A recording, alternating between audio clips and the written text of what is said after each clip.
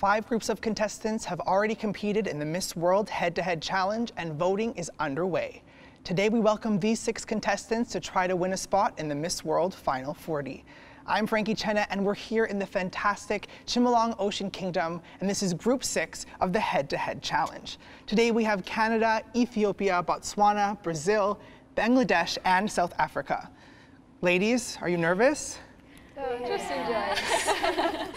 Okay, well, nervous or not, it's time to begin the head-to-head challenge. Only one of you can win that coveted spot in the final 40, and voting is now open. Here's how the competition works. You each have an opening presentation with a video and a follow-up question. Then we'll catch up with Barney about the Miss World competition, and then the all-important final question. Best of luck, ladies. I know you'll all do very well. Thank you. Let's meet our first contestant, Canada.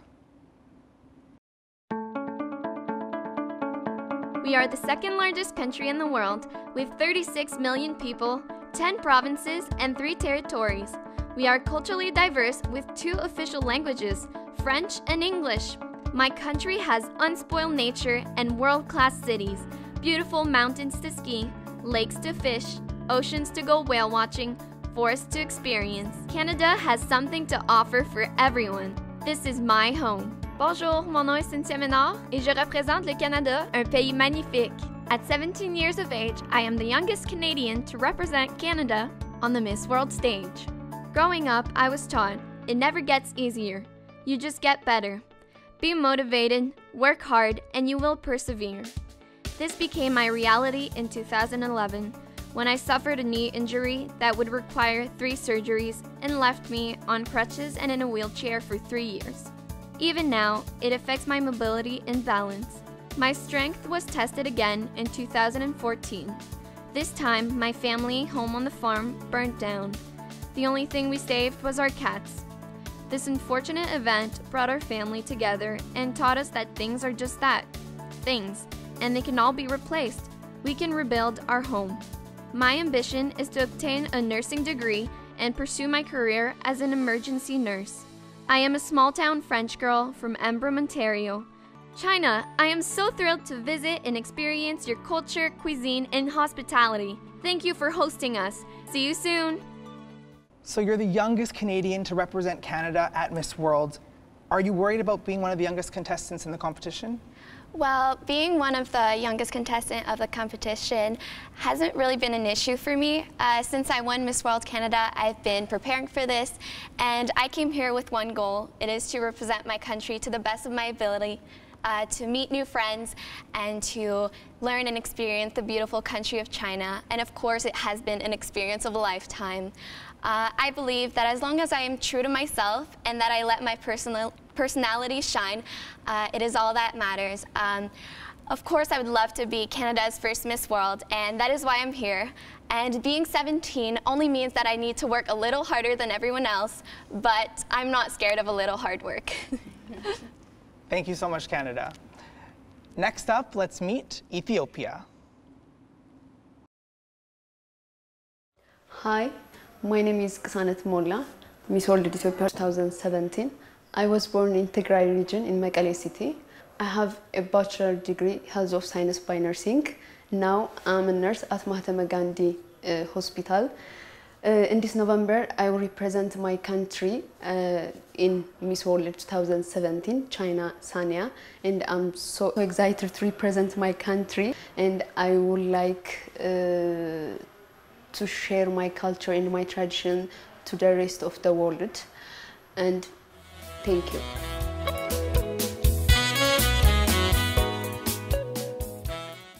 Ethiopia, why did you decide to become a nurse? The reason I became a nurse uh, in this world, I have one big hero. She's my mom.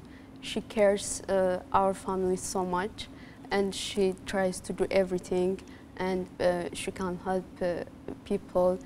She lives uh, for other peoples, and the mother and the nurse behavior are the same, because being a nurse means you will never avoid, and you will see uh, people at the worst and at the best, and you will see life begin and at the end you will cry a lot and you will laugh a lot and you will know what it is to be a human, and um, I want to be uh, live for people, not myself.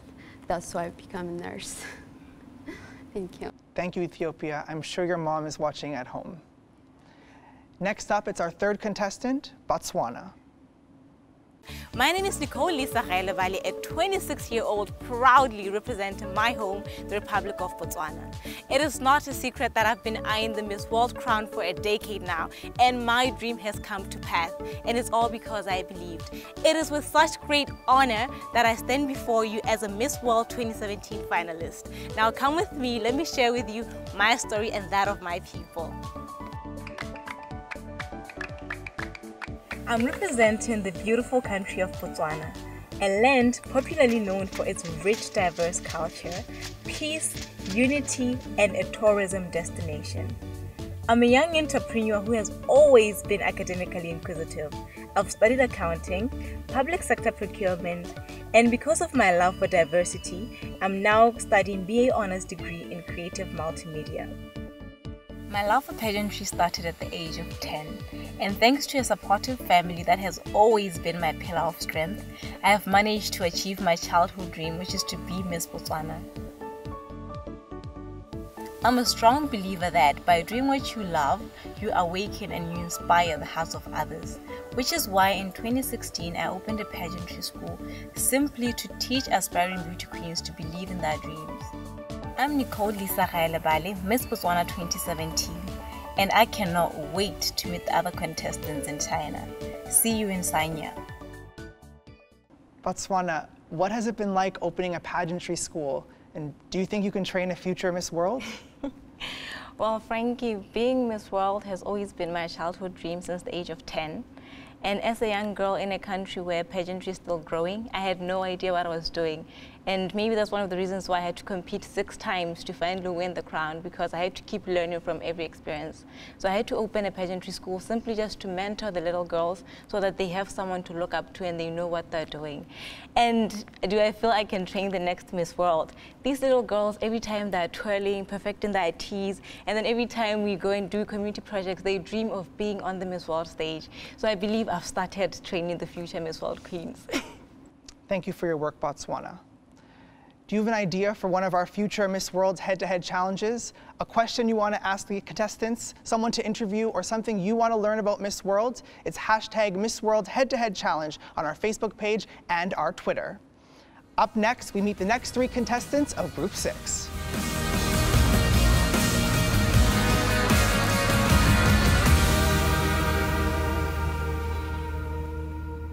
Welcome back to the Miss World Head-to-Head -head Challenge. We have three more contestants to meet, and our next contestant comes from Brazil.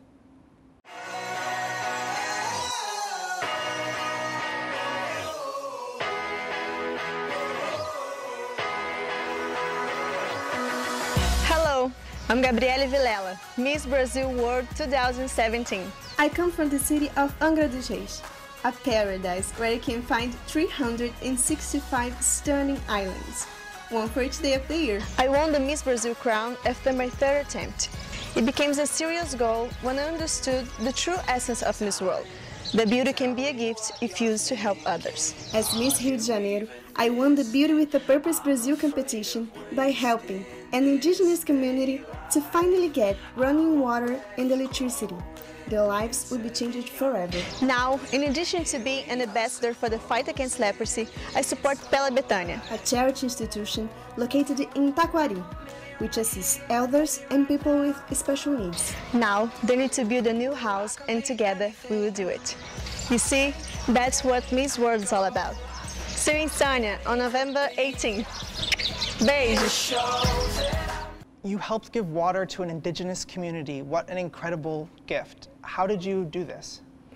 Yeah, uh, Frankie, uh, the Guarani Sapucaí tribe is the largest uh, tribe in, on my state. It's located in my city where I live, and actually I had never heard about them before I met them. So I met them and saw how they lived, and I think um, I must do something to help them. And, but I realized that I couldn't do enough alone, so I asked help for the government. And in less than three months, we did it. Now they have clean water and electricity. And I feel blessed to be, to could be a little part of that. And uh, well, now they children, the, that children don't get sick anymore above the water. And you know, Frankie, at that's, uh, that's the, the best thing about Beauty with a Purpose and about everything, that we can always do more.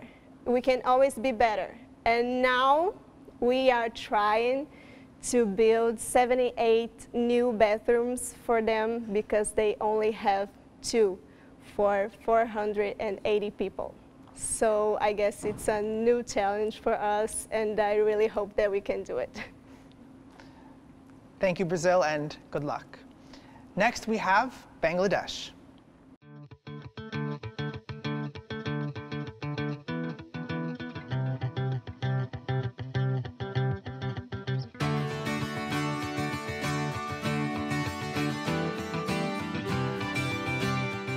My name is Jessia Islam, winner of Miss World Bangladesh 2017. I'm from Dhaka, Bangladesh. I'm 18 years old. My zodiac sign is Taurus. I love pizza. I, my favorite dress is sari. I'm very shy at first, but I'm very friendly after that. I go through a lot of mood swings. I would say about my mood, I have a mood heart. I want to be a successful role model of my country to empower women rights equally. Bangladesh, how do you plan to empower women? Well, my plan is to build an institution for females so that we can teach them job skills so that they can be self-independent, get dependent on themselves and feel confident. And also, self-decision skill is also really important for them. So we'll provide them basic education and I want to build this in remote areas as urban areas already have a lot of job fields and in remote areas women are being neglected. So I want to build this in remote areas. Sounds like an excellent plan. Thank you, Bangladesh. Thank you. And our final contestant of Group 6, South Africa. To me, South Africa is a country of hope, unity, strength, and kindness. A place where your dreams truly can become a reality. South Africa has proven that the impossible can become possible. My name is Adia van Heerden, and I am proud to represent my beautiful country of South Africa at the 67th Miss World contest. I grew up in a small little coastal town on the Garden Route, and I'm quite the outdoorsy person, and I feel like Cape Town has so many different things to do. You can climb out Table Mountain or go and walk in the winelands, and it's actually the perfect place to just celebrate being a human and being healthy, and, and that's really what I love about it. I would absolutely love to one day be able to bring out a book that is focused on healthy nutritional recipes because I love experimenting in the kitchen and has a fitness component teaching people how to work out and love their bodies because that is something that I'm passionate about. Being a woman in, in essentially a man's world has not really been challenging but it's been more exciting. I think it's an opportunity for me to really go out and move into waters that no one has tread in. And I know that whatever I achieve and accomplish in this world, I kind of make the opportunity for the woman following me a little bit easier.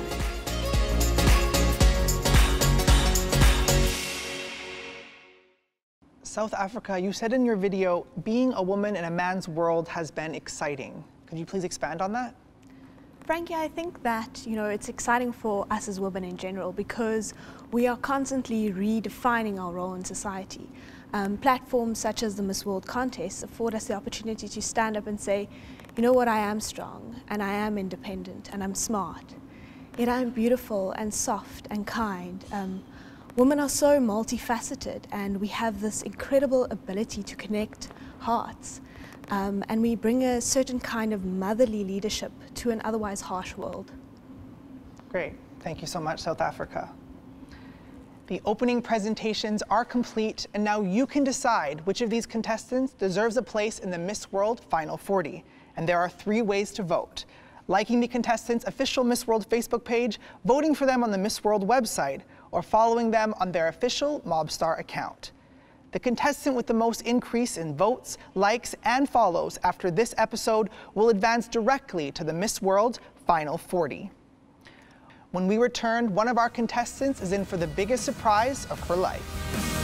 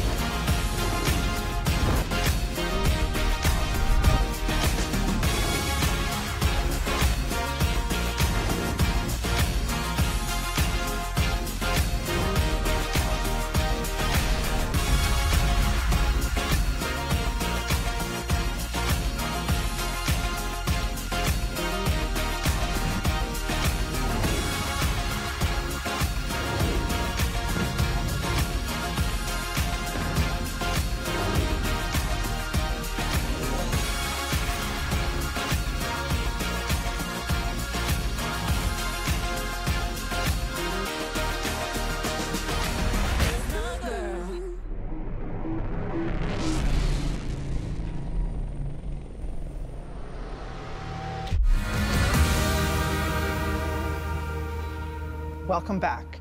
The contestants in Barney visited one of the most historical places in China, Xidi Village.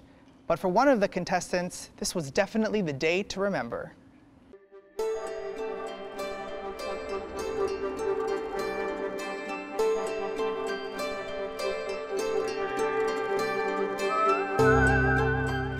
Today we're here at the historic Xidi Village and I'm joined by Miss Northern Ireland and we're going to learn a bit about Chinese culture with Miss New Zealand, whose mother's in fact Chinese, and Macau, China. So, should we go, ladies? Yeah.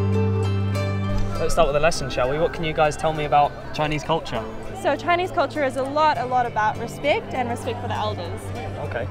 Okay. Yeah. And I'm going to teach you about like some special etiquette during the dinner. During dinner? Yeah, during dinner. For example, uh, we always serve the guests with a lot of food, more than you can eat. Mm. Right. So, That's good. We like that. Okay, the first point and second point, when people serve you with water and tea, you should do this. It means thank you on table. You can knock. Thank you. Yeah, you, you use two fingers to knock the table. It means thank you. Okay.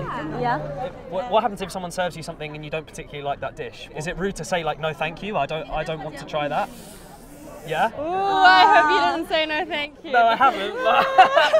if you give Yeah. someone like someone your guest some food and they say no, it's a bit like oh like a bit disrespectful. Right, okay. So if anyone gives you any food, just take it and be like shishi shishi. While we were filming, a bouquet of flowers was thrown out of the window and was caught by Miss Indonesia. I wonder what that could mean. So we just saw Miss Indonesia down here catch some flowers and now she's in a red dress walking along there. What's going on? You throw the flower down and which man catch it can get married with her. Whoever, whoever catches it gets yeah. Get married with her. and that's just how that's how it's done. Like, well, that's how Do they actually do it? They actually They get actually married? get married. Yeah, 100%. Wow. No, in China we do everything for real. you catch the flowers, see you later, you're off to marriage the next day. Actually, it's not so easy to catch the flower because uh, you have to fight without each other.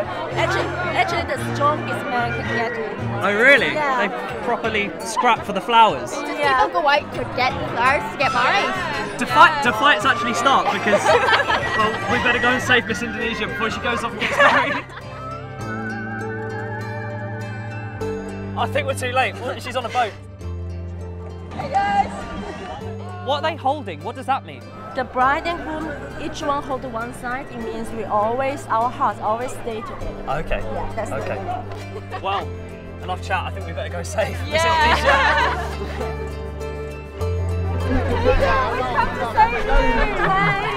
Oh, now I'm going in this. Okay, so I'll see you guys Indonesia. She's being whisked off in a cart now. No one knows where she's going, but we wish her all the best.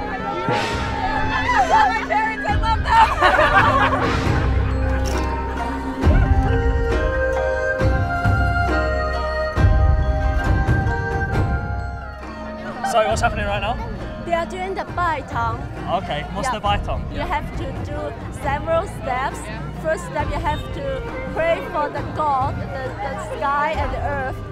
This is the first step. And the second step, you have to cross the fire. It means uh, uh, you are clean now after you cross it. Chinese people are obviously very historically very spiritual people, so they believe in a lot of cultures and traditions to do before the marriage to wish it good luck and bring it good fortune. So once you've once you've bowed and stepped over the fire, then what happens? The last step is that they stay in the one room. Yeah. we can't talk about that, okay? So is this going to be our chance to save Miss Indonesia? I don't think the husband's going to be really happy. He's keen on her, look at him. Yeah. it's true love. you can see it in his eyes.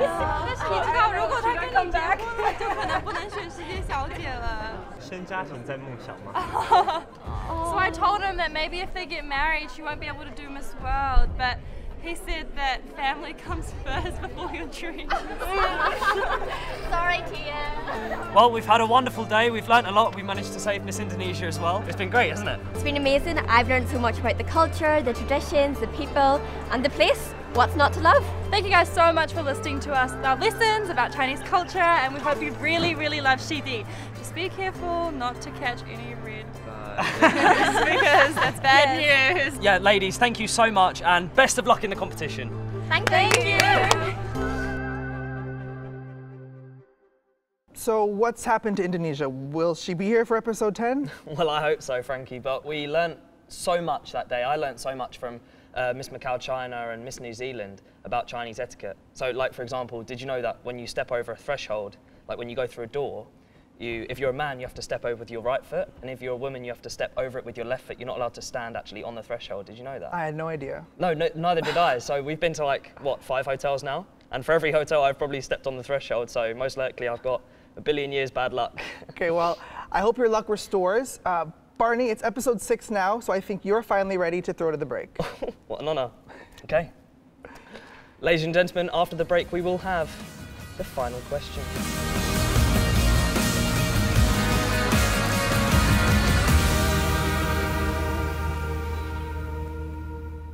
Welcome back. It's time for the final question. Now, each of the contestants were given the question before the show. I'll read the question one more time, and you'll each have 30 seconds to answer. Best of luck. Social media can be a wonderful tool, but it can also have terrible consequences. What are your thoughts on this? South Africa, you're first. Unfortunately, social media has created this lifestyle of constant comparison. Um, especially in our youth, we're seeing a rise in anxiety, depression, and suicide rates. Um, and I feel that's why it's our responsibility to use social media in order to inspire and motivate and empower. Um, because if used correctly, it's a powerful and beautiful tool to connect the entire world. Great. Thank you, South Africa. Bangladesh. Well, I totally agree on that fact that social media has been a wonderful use, but it's in this generation it's being misused. According to me, it lost its sole purpose. Rather than bringing people together, it's sending them away. So, and it's creating fake news, like creating an illusion which were not even there. Great. Thank you, Bangladesh. Brazil. Yeah, uh, Frankie, I agree that uh, social medias are, are really good to, uh, tool uh, because we can share things uh, with people from all over the world, but that's why it's a bad thing too, because we can share wherever uh, we want. We can share um, good things and we can share bad things, bad things as well. Uh, we can split uh, hate, we can split racist things, we can split uh, bullying, and uh, unfortunately, I, I don't have a solution for that. Uh, well, so I think the best thing we can do is uh, try to teach people how to love more and share their love, and maybe we can split that too. Thank you, Brazil. Thank you. Botswana. Well, Frankie, I do believe that social media is a great tool, especially if you're a young entrepreneur like myself, because it's a great way to market yourself. But I feel like people need to know that with social media, we're talking about information. And with information, there's knowledge, and knowledge is power. And what you need to know is there's the good and the bad. So it is up to you as an individual to know how to choose the good and the bad. And most importantly, we need to teach the children how to do exactly that, which is to choose good information from the bad. And I feel like the most important thing here is uh, social, when, about promoting social media is that you need to know that it's your, your individual responsibility. So you as an individual can make a change on how you're going to use the social media. Yes. Thank you, Botswana. Ethiopia. Uh, yes, social media have good uh, tools because we can share the, our information, we can share our idea. But this generation, I think uh, we don't know how to use the social media, especially in internet access. And we should have to be to use to good purpose, not bad things. Thank you. Great. Thank you, Ethiopia. And our final contestant, Canada. Thank you. Well, social media allows us to reach out to the world instantly. It also allows us to reach out to, the, to our loved ones.